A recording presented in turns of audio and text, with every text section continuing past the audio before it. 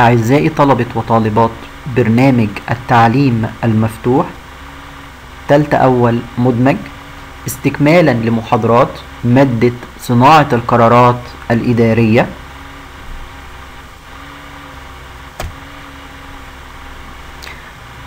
الأساليب التقليدية في عملية التفكير لحل المشكلات واتخاذ القرارات. أسلوب المحاولة والخطأ. الثبات أو الصلابة اللجوء إلى سلطة أعلى البديهة خمسة العلم أو الأسلوب العلمي ويمكن توضيح هذه الأساليب على النحو التالي.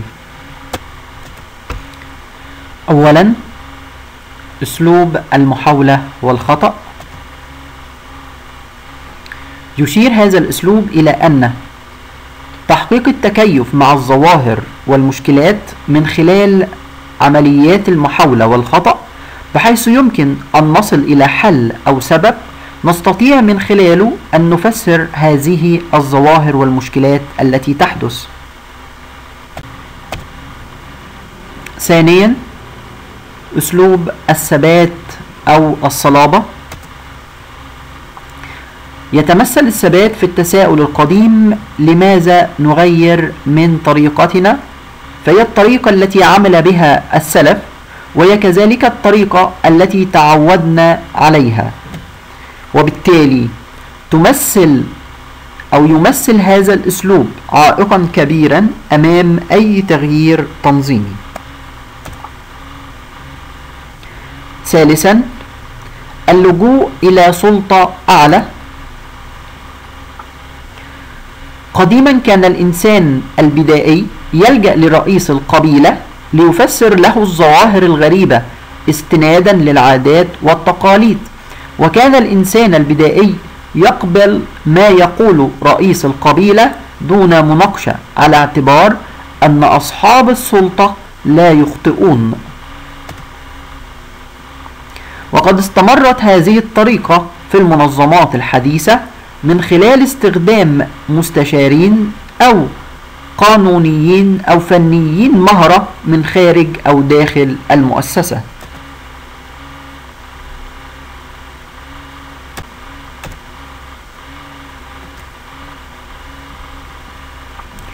رابعا البديهة. وتعني الاستشهاد بالمسائل البديهية في الحكم على الأمور. ويتضمن ذلك إما الانتقال في الحكم من الكل إلى الجزء ومن أمثلة ذلك. كل إنسان يخطئ يمثل الكل. إذا رئيس مجلس الإدارة وهو بشر من المحتمل أن يخطئ وهو جزء من الكل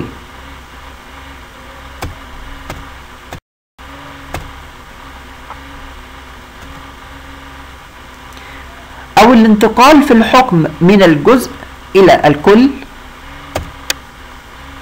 مثل قطعة من الحديد تمددت بالحرارة تمثل الجزء. إذا كل الحديد يمكن أن يتمدد بالحرارة وهو يمثل الكل. إن من أهم مشكلات البديهة أن الشواهد لا تقوم على دليل أو أساس علمي.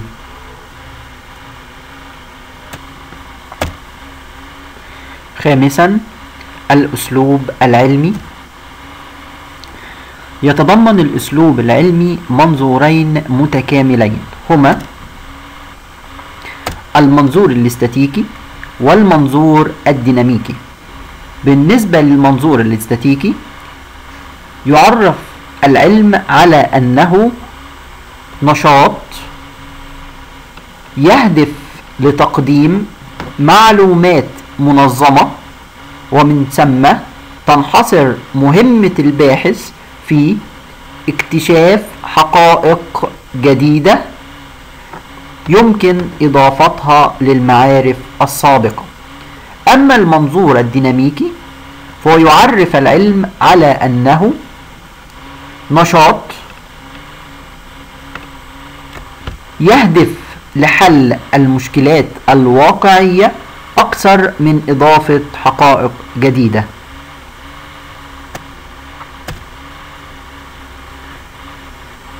الأساليب الحديثة في التفكير لحل المشكلات واتخاذ القرارات. أولا أسلوب قبعات التفكير الست لدي بونو. لماذا سميت هذه الطريقة أو هذا الأسلوب بالقبعات؟ لأن القبعات توضع فوق الرأس وهي موضع عملية التفكير. فقد يرتدي الشخص قبعة ثم يخلعها ليرتدي أخرى وهكذا بما يعني تعدد أساليب وأنماط التفكير. وفقا لديبونو فهناك ست أنواع من القبعات. تتضمن ستة ألوان مختلفة وهي القبعة البيضاء والتي تمثل التفكير الحيادي القبعة الحمراء والتي تمثل التفكير العاطفي القبعة الخضراء والتي تمثل التفكير الإبداعي. القبعة الزرقاء والتي تمثل التفكير الشامل. القبعة الصفراء والتي تمثل التفكير المتفائل. بينما القبعة السوداء تمثل التفكير المتشائم. بالنسبة للقبعة البيضاء فإن اللون الأبيض بيعبر عن لون الحياد والموضوعية فهي تعني وتهتم بالحقائق الموضوعية والأشكال والأرقام. أما القبعة الحمراء فاللون الأحمر يشير إلى الأحاسيس والمشاعر فهي تعبر دائما عن العاطفة بينما القبعة السوداء تشير إلى أن اللون الأسود هو لون مظلم سلبي فهي غالبا ما تغطي النواحي السلبية أو التشاؤمية في عملية التفكير. أما القبعة الصفراء فيشير اللون الأصفر إلى لون الشمس والإيجابية فهي تعبر عن التفاؤل والتفكير في الإيجابيات ولكنه تفاؤل له مبرراته.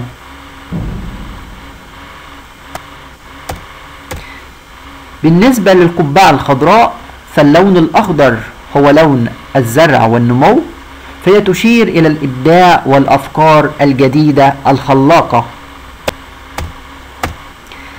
بينما القبعة الزرقاء تشير إلى لون السماء والتي تعلو على أي شيء آخر فهي تشير إلى السيطرة والتنظيم لعمليات التفكير. ويمكن توضيح كيفية تطبيق طريقة القبعات الستة للتفكير في أحد المشكلات العملية مثل مشكلة حوادث المرور. فإذا كنا نستخدم أو نرتدي القبعة البيضاء التفكير الحيادي يمكن طرح السؤال التالي كم عدد حوادث السير خلال العام السابق؟ هنا نجد أن هذا السؤال يركز على الحقائق والأرقام والبيانات. أما إذا أردنا ارتداء القبعة الحمراء والتفكير العاطفي فنجد أن السؤال المطروح قد يكون ما هو شعورك عندما تشاهد أو تسمع عن حوادث المرور أما إذا أردنا ارتداء القبعة الصفراء فنجد أن السؤال المطروح قد يكون هل يمكن أن يكون هناك مستفيدين من حوادث السير؟ حيث ترى القبعة الصفراء الجانب الإيجابي من المشكلة أما إذا أردنا ارتداء القبعة السوداء حيث التفكير المتشائم فنجد أن السؤال ما هي سلبيات حوادث السير؟ أما في حالة ارتداء القبعة الخضراء حيث التفكير خارج الصندوق والتفكير الإبداعي والابتكاري نجد أن السؤال المطروح ما هي الحلول المبتكرة لمشكلة حوادث المرور؟ ونجد أن القبعة الزرقاء هي قبعة التفكير الشامل المسؤولة عن تنظيم عمليات التفكير المختلفة.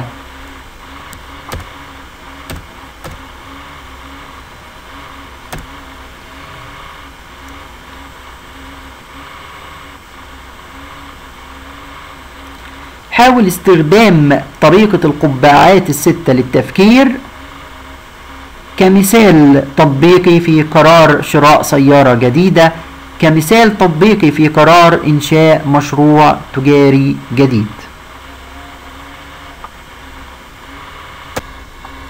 ثانيا أسلوب عظمة إيشاكاوا. يعتمد هذا الأسلوب على تقسيم المشكلة إلى جزيئات متعددة من أجل تحديد العلاقة بين الأسباب والنتائج المترتبة عليها.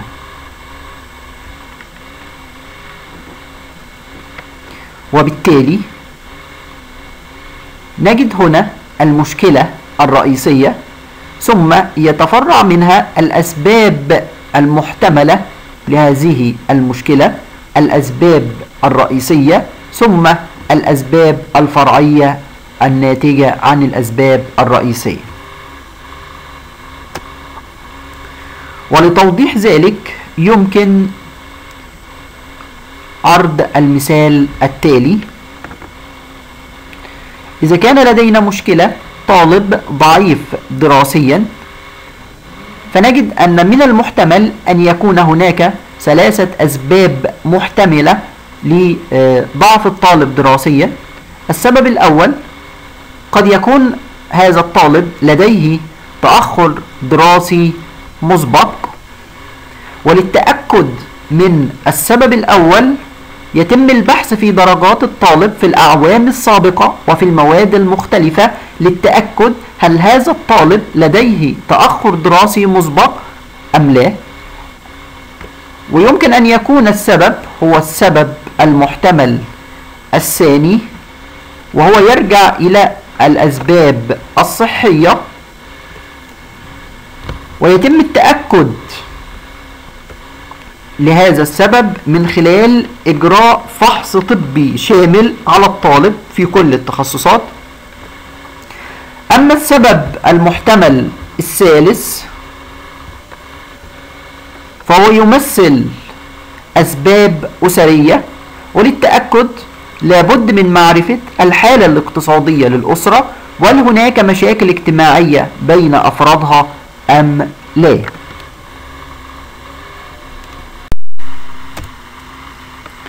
ثانيا أسلوب بن حكيم العجوز.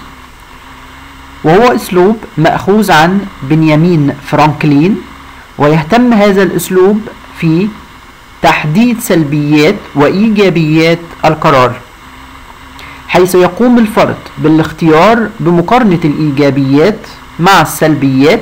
فإذا كانت الإيجابيات أكثر وافق على القرار والعكس صحيح. فلو كان هناك فرصة لشراء مسكن جديد أكبر بأحد المناطق العمرانية الراقية. لاتخاذ هذا القرار يتم تصنيفه إلى الإيجابيات المتعلقة بهذا القرار والسلبيات المتعلقة بهذا القرار فنجد على سبيل المثال الإيجابيات هي الحصول على سكن أكبر قد يتوافر الهدوء آه المناخ صحي أكثر ولكن هناك مجموعة من السلبيات ترتبط بهذا القرار على سبيل المثال البعد عن العمل البعد عن الأقارب إهلاك أكثر للسيارة مشاكل صحية بسبب قيادة السيارة.